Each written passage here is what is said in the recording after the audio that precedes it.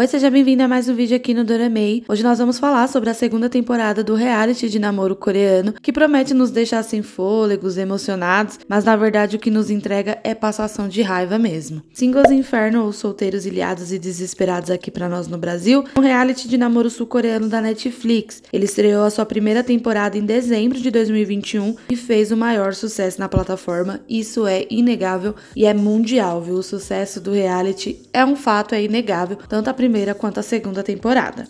E o reality se passa em uma ilha deserta onde solteiros e solteiras precisam encontrar o amor verdadeiro, já que só casais podem sair e desfrutar de um encontro romântico. Como MCs, né, comentaristas do reality, a gente tem a Ida Hee, o Cho Kyu-hyun, a Hong Ji-kyung e o Han Hee.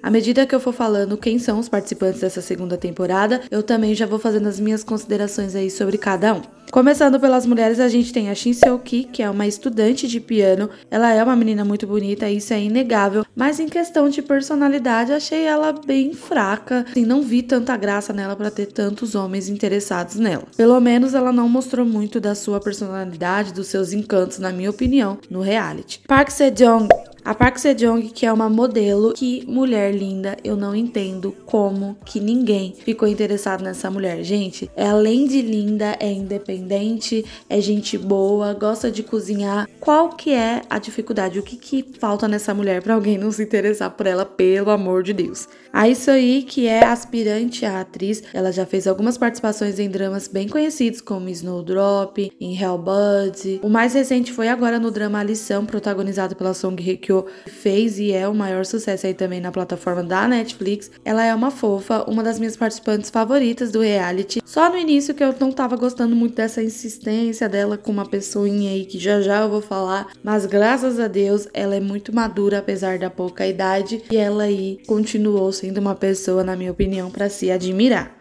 A Inadine, que também é uma universitária. Além de linda, é uma menina extremamente inteligente, com um currículo, olha, de fazer inveja. Essa menina já fez de tudo, tudo que você imaginar, ela já fez, ela tem conhecimento e com tão pouca idade, é incrível. E além dela ser uma pessoa muito gente boa, eu gostei muito da personalidade da Inadine. Com certeza seria alguém que eu queria muito fazer amizade. A Minsu, que é CEO de uma loja online e também aspirante à atriz. O pessoal reconheceu ela aí que ela fez um papel de figurante, uma participação no drama The Fabulous, que também entrou na Netflix. Sobre a Minsu, também é uma menina bonita e independente, mas, na minha opinião, faltou amor próprio aí e veio para passar vergonha no reality. Foi pro paraíso duas vezes com o mesmo cara, na segunda vez. O cara totalmente deu um fora nela, mas mesmo assim ela insistiu no cara, fez cena de choro e ainda teve esperança ali na hora das escolhas do cara escolher ela, amiga. Passou vergonha, na minha opinião.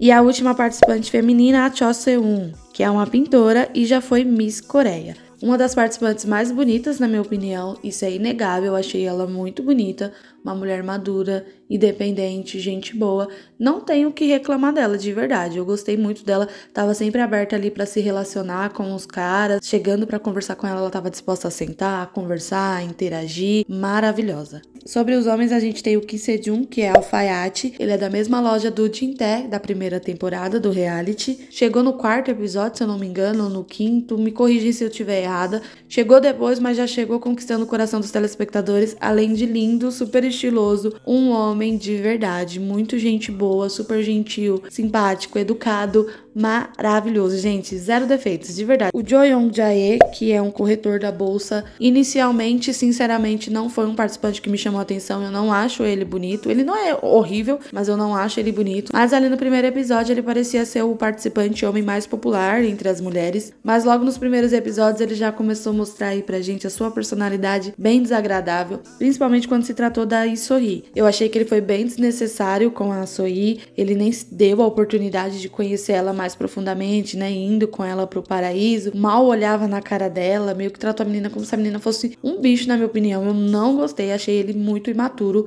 ranço dele. Também tínhamos o Kim Rambin, que é um chefe de cozinha, e o que falar de Rambin, né? Logo quando ele entrou no reality, ele já chamou minha atenção pela beleza dele, pela semelhança com Nanju Hyuk, um dos meus atores coreanos favoritos da vida. E no decorrer do programa ele mostrou a personalidade e o homem gentil e incrível que ele é. Gente, quem não quer ser amigo desse homem, pelo amor de Deus? E ele também foi um dos participantes que as mulheres não demonstraram interesse nele. Gente, como assim? Bonito, cozinha, independente, simpático, educado, alegre, gente boa. Qual que é a dificuldade? Ai, não entendo.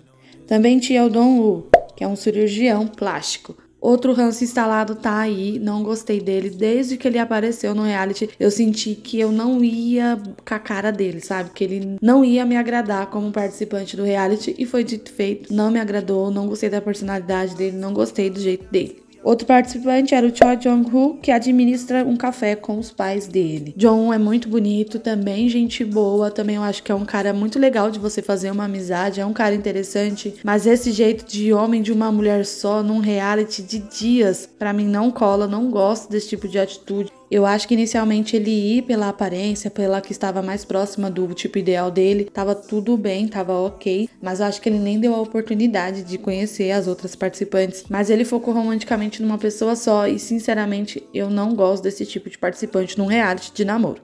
Eu não acho que precisa sair atirando em todo mundo, flertando com todo mundo, mas eu não acho também que você tem que ficar focado numa pessoa só desde o início e ainda mais você percebendo ali no decorrer do programa que a pessoa tava super dividida entre você e a outra pessoa e na verdade mais tendendo pro lado da outra do que do seu. E por último, dos participantes masculinos, a gente tinha o Kim Jin Young, que é um youtuber e ex-soldado. Sinceramente, inicialmente, quando ele entrou no reality, ele também entrou no terceiro episódio, se eu não me engano. Eu tô um pouco confusa, mas ele entrou depois também. Ele me chamou a atenção, eu não acho ele um cara feio, eu acho ele bonito. Ele é engraçado em alguns momentos e ele chamou bastante atenção pela personalidade dele bem diferente, mais fria, né?